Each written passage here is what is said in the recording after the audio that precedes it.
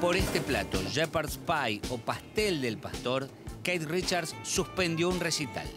Hasta que no estuvo preparado a su gusto, se negó a iniciar el show. Bueno, estamos en un reconocido restaurante irlandés de la zona de Palermo, Daniel. Veamos los ingredientes del shepherd's pie. Por lo que veo, muy parecido al pastel de papa criollo. Sí, es parecido al pastel, tiene razón. Es que nosotros al pastel de papa le ponemos morrón, cebollita, huevo también si le pones. Acá no. El que hacemos acá en Chipper eh, tiene, lleva eh, arveja, zanahoria, y tal vez puede llevar em, champiñones y ponemos un toque de cerveza negra. Entre las exigencias del guitarrista está este plato. El problema es que con la banda no vino un chef, apenas enviaron la receta por mail.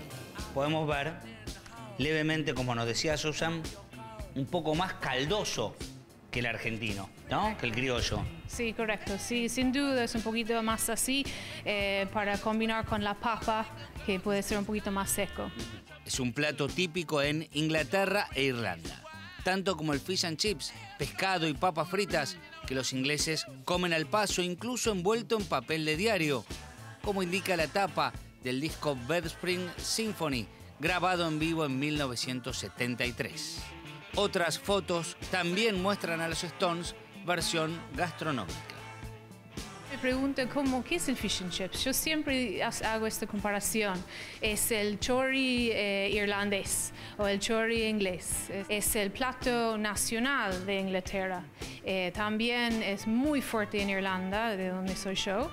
Y eh, los Rolling Stones usaron para una etapa de un disco de un concierto en vivo en 73 que se llama Bed Spring Symphony.